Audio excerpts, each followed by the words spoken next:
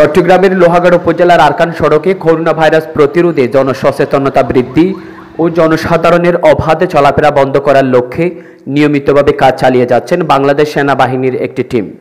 দেশ জুড়ে corona virus এই পর্যন্ত কেড়ে নিয়েছে একশো দশ জনের প্রাণ।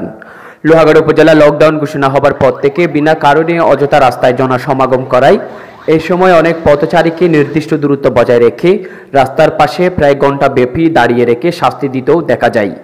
পাশাপাশি হেলমেটবিহীন মোটরবাইক চালক আর যাত্রীবাহী সিএনজি চালকদের থামিয়ে তাদের বাসার দিকে ফেরত পাঠানো হয়।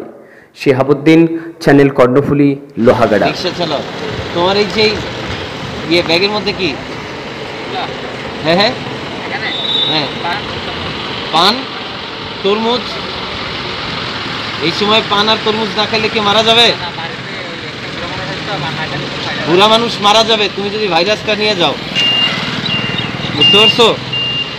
তুমি যদি ভাইরাসটা পুরা মানুষ মারা যাবে।